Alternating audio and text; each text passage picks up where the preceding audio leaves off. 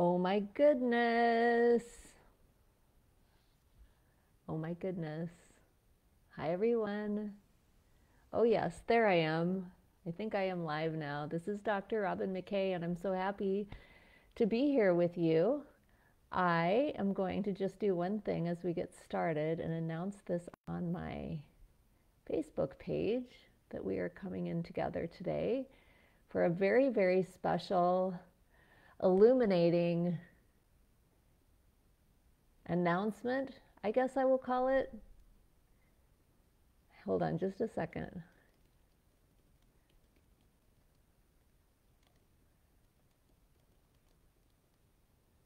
Near death experiences and unlocking your highest calling. Join us. Okay, there we go. So let me do that. Very good. I'll share it there and I will share it there just in case. Okay. Well, I want to say welcome to you all. I know it's Sunday. It seems to be sometimes a good day to do events like this because it just gives an opportunity for the energy to be very different than it is during the week. And so I'm glad to be here with you. And I'm grateful that you are attending. And if you are attending live and you're here with me, I'd love to see you say hello in the comments so I can say hi back. And if you happen to be watching the recording, that's just fine too. I want to invite you to say hello and leave your comments, leave your thoughts about this very illuminating conversation we're going to have today. So I'm going to go ahead and dive in. And we are live in, of course, my Facebook group, Becoming the Channel. I'm Dr. Robyn McKay. I have a PhD in counseling psychology. I have a podcast called Becoming the Channel as well, which is likely where you discovered me and my work, but some of you have been around for many, many years, so I'm grateful to have you here as well. And I'm seeing a couple of people writing in, and it's so I'm so glad to see you here with me live. This is a very important an interesting conversation I'm going to share with you today. We're going to be talking for probably about mm, 20 minutes or so, and I do have an invitation toward the end of our, our conversation today for those of you who feel like you're leaning into what I'm talking about, like you're you're picking up what I'm dropping down. Miriam is here and Joanne is here. Oh my goodness, I'm so excited to have you. So I'm going to dive in and it's 3:33 my time. So I'm very I love those numbers. So this is a great time to begin. I want to begin by sharing with you for those of you who are new to my world that I have worked with gifted and talented women for many, many years. In fact, I wrote a book on it years ago. It's almost 10 years that Smart Girls in the 21st Century came out. And in one of the chapters of that book, my co author and I wrote about spiritual intelligence as being one of the intelligences that is yet to be un- yet to be fully explored or understood. But that captivated my attention so much because I've been on my own personal journey of spiritual intelligence for as long as I can remember. I've been a clear channel since I was a little girl. And when I was about 28 years old, I had what I can only call as an existential crisis. I see, it seems so young to have an existential crisis, but I really did when I looked around my life and I said, Is this all there is? There has to be more than this. This is not what I imagined when I was 16 because I was living in suburbia of Kansas City and I was working in biotech and I was driving one way to work 45 minutes and I was exhausted and I was burned out and I was married to my college sweetheart though while he was a very kind man he was somebody who wanted an ordinary life and he was quite satisfied with that. And i always knew that i was meant for something more. I had other work to do besides living an ordinary life. And so that was a time that i really think i became i'll say fully responsible for my spiritual gifts if you know what i mean. In other words i've been intuitive since i was a little kid but it wasn't until my late 20s and early 30s that I really began coming online as a spiritually intelligent leader. And that process has taken me over 20 years to come to this place with you today. Well, one of the things that I did early on was I started studying and researching spiritual intelligence and profiling creative and intuitive people to really help me understand who we are.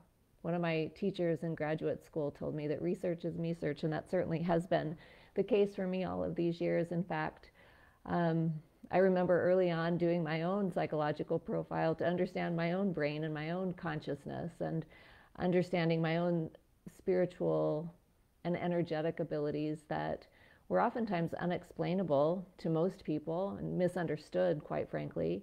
Uh, but my mission really was to, even at that early part of my career, to make the world safe for intuitive and spiritually gifted people. And I don't know if that's still my mission because I think that we're here to make the world safe for everybody else, but I do think it is important for us to know ourselves. So I want to I want to just share with you a little bit about what I have discovered in the ensuing years that I've been doing all of this work. You know, I started my coaching practice 10 years ago, and I always knew who I was meant to work with. I knew I was meant to work with women in particular um, who were very, very intelligent. In other words, they probably had high IQs. A lot of them were able to figure things out quickly, make sense of things, and know what to do about to do about it. And that is, by definition, intelligence. It's really processing speed. So I knew I was meant to work with people who had fast processors in their brains. And I also knew that I was meant to work with the creatives, the innovators, and the intuitives. And those two things, the intelligence and then I'll call it the intuition or the creativity, those had an intersection in a very small subset of people. So as I started my work, it turned out that a lot of these women were coming to me from healthcare, so they were physicians, they were coming to me from tech, they were engineers, they were scientists, they were like me, who, um, you know, I was a scientist to begin with, and then I became a social scientist in psychology. And so they were coming to me from psychology and the allied health professions as well.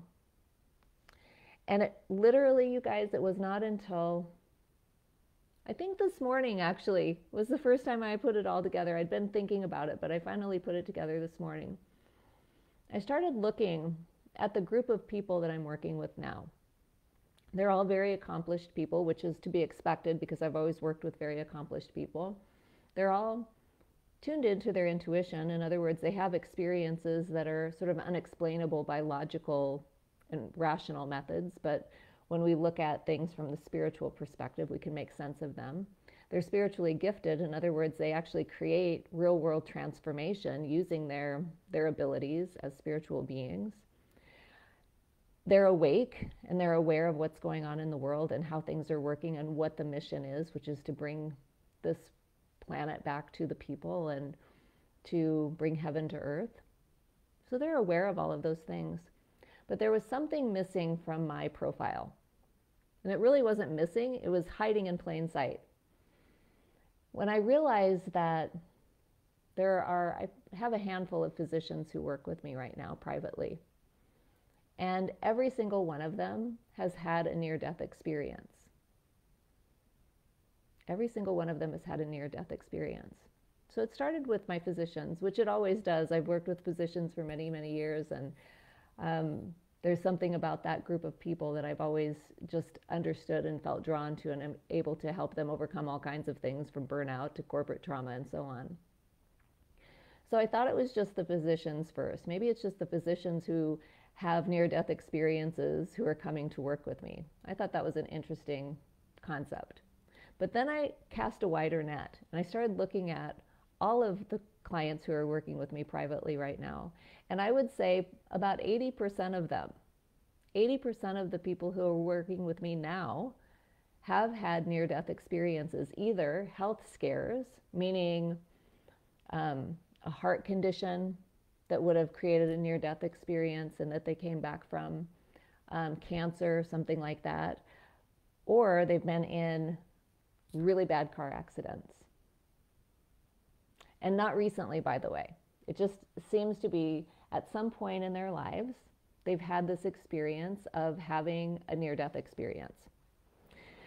So, the interesting thing to me, I feel, and I want to stop here for just a moment because that makes me feel so excited to recognize that there was this X factor, I'll call it, and in all the years I've been doing this work, when I look in hindsight at all of the people who have come in through my doors and have worked with me privately, the common thread is having a near death experience for, I'm going to estimate right now, 75 to 80% of the people who have come through the doors. And I've worked with hundreds at this point. So this goes beyond statistical chance, of course, because not everybody has a near death experience, but something that I'm doing and something that I'm signaling is calling them in. And the things that they're, they're coming in for are things like what's next? They're trying to make meaning of their experiences. They're trying to sort out am I going crazy? Why isn't anybody else understanding what I'm what I'm going through or what I'm seeing? Because they all have, as it turns out, I'll call them supernatural abilities, but they're definitely in line with intuition, with psychic abilities, being able to see beyond what most people can see or know things that other people cannot know or don't know being able to feel things that other people can't quite get a handle on, and so on. You know, the four clairs basically is what I'm referring to there. The thing that makes this community so unique is that they're all, their unspoken plea, I'll call it. And I don't mean a plea from like pleading with me, but they really have this deep seated desire or need to figure out what their highest calling is because they know that they're meant for more, just like I did all those years ago. They know that they're meant for more than an ordinary life. They've had an extraordinary, uh, they've had an extraordinary experience. They've touched the face of consciousness beyond, touched the face of the divine in some way. And they've come back and they're changed because of it. And yet, in this world we live in, we seldom talk about these experiences, and there's no real clear pathway to integrating or understanding what they've experienced, much less fully expressing the resultant changes in their personalities and their perspectives as a result of the near death experience.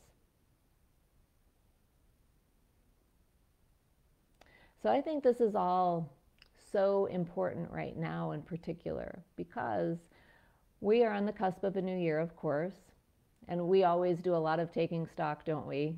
Our lot being highly intuitive and intelligent and on purpose in our in our lives, we really do want to take a look at where am I meant to contribute and what am I meant to do next? And what I'm seeing transpire recently with this group of people, and maybe you can relate to this, is that it's even going beyond the normal or typical goal setting for the things that they've always done in the past um, job promotions, raises, vacations with the family. When you have had a near death experience, for example, it's my impression and my understanding that your perspective of the world changes in, in ways that are both subtle but very important. That the material things that used to be very important to you seem to be no longer that important. And yet, there's still a call to, there's still a call to do something important with your life. And that is actually one of the other things that I'm finding that the people who are coming to me who have had these experiences will say is that I, they'll say, I don't mean to sound arrogant, but I just know I'm meant for more than this. Or I don't mean to sound like I'm too big for my britches, but I just feel like I'm here for something important. I hear I feel like I'm here for something big and they're very humble about it as well. So that is the kind of the umbrella term of the near death experience, but I want to say this that along with the near death experience, the other common thread that I see running through the people who are in my world, and you'll want to pay attention here, is that they um, have sometimes experienced the, the significant death of a loved one. Maybe they've lost a parent recently, or they've lost somebody close to them that has a meaningful, that leaves a meaningful hole in their lives, I'll say. But it has brought them to a place of pausing, to trying to figure out how do I go on in the face of this loss. And this goes beyond grief. It becomes, unless I called it an existential grief, which I suppose would be approaching what I'm getting at here. But there is this sense of, I have to make my life mean something because this person is no longer with me. So that is the other theme that I'm seeing. And then the third theme is something that I've I've mentioned more recently as I've been talking more about channeling and as, as I've been integrating my own channel into my life as well, is that there have been um, the, the third theme, I would say, or the third part of the pattern is a walk in experience where there's actually a part of the consciousness that comes from the oversoul and literally walks into the physical body. So we can refer to this as the highest point of actualization, but the most evolved part of the consciousness, the person's consciousness, actually comes in and begins taking the lead on life and making sure that the person is stepping into their highest calling and doing the mission, doing the sacred mission that they were here called to do. So those are the three, right? We have the near death experiences, we have the the death of a loved one, the death of a loved one, which also instigate, instigates or activates this need to step into highest calling. And then the third is the literal walk-in experience where the highest point of actualization of the of the person's consciousness will come in and take the lead and insist that the person move into the highest consciousness. And by insist I don't mean dominate. I just simply mean that it becomes inevitable that when a when that part of the consciousness comes in that the highest calling will naturally unfold as a result of the highest consciousness coming in. So I hope that you're feeling how excited I am about this because this is a long time coming for me. I remember because I because I'm a social scientist and I'm constantly profiling people and I'm constantly looking for patterns. That just is what I do. And you know, I've been talking about personalities and and the profiling of intuitive channels and things like that for years now, actually. But this missing link for me is something that is going to make all the difference because it even refines even further exactly who is meant to be working with me. So, to be clear, accomplished people, usually in healthcare, oftentimes also in engineering, and of course, you know, there are the, the entrepreneurs who come into coaching and consulting who are also part of this, but they all identify as either helpers or healers in some way. In some capacity, they are a helper or a healer. So, for example, the engineers who come in are the emotionally intelligent ones that often bear the the onus of the, the emotional well-being of the entire team that they're working with and for because their their engineer their engineer leadership is unable to do that because they don't have the capacity if that makes sense so there's that piece. They identify as innovative or creative or intuitive, and oftentimes they keep their intuition kind of behind the scenes because they don't want their colleagues or their families or anybody to misunderstand them or think that they're crazy or lose their credibility because of their native intuition. And that, as a side note, is something that I am working very diligently on to change because I do believe we need to be leading from wisdom, intuition, and spiritual intelligence. And then the third piece is that usually they'll have some kind of life altering event, like I've described, either a near death experience, the profound loss of somebody close with them that has changed their perspective on what they're supposed to be doing in the world, or they've had literally a spiritual walk in experience. And so the clarity, I think, is so important, isn't it? the clarity is so important because when you you're in a place where you're trying to sort through what is going on in my life why is this happening what am i supposed to do with this there are really kind of two pathways that we go down one pathway is everything changes inevitably the other pathway is i'm going to ignore that this ever happened and i'm going to try to do business as usual and people who are meant to be spiritually intelligent leaders can do business as usual for a little while. For a little while. But then eventually, the inevitability of their sacred mission, of their, their highest calling, comes into, into view. And they really lean into that versus staying in the ordinary world, versus trying to maintain the status quo because maintaining the status quo takes a lot of energy and a lot of focus and it really pulls away from the highest calling. So, I have so much more to say on this topic, but I do want to honor our time today. So, I do want to say this that if you are somebody who gets this, gets what I'm talking about, if you see yourself in the description that I've given today, then I have a special opportunity for you this month that I wanted to share with you, which is that you may have seen this too. I've been talking a lot lately about life between life reviews. I've been talking a lot about the intuitive channel profile. These are two private one on one programs with me. They're brief and they are potent.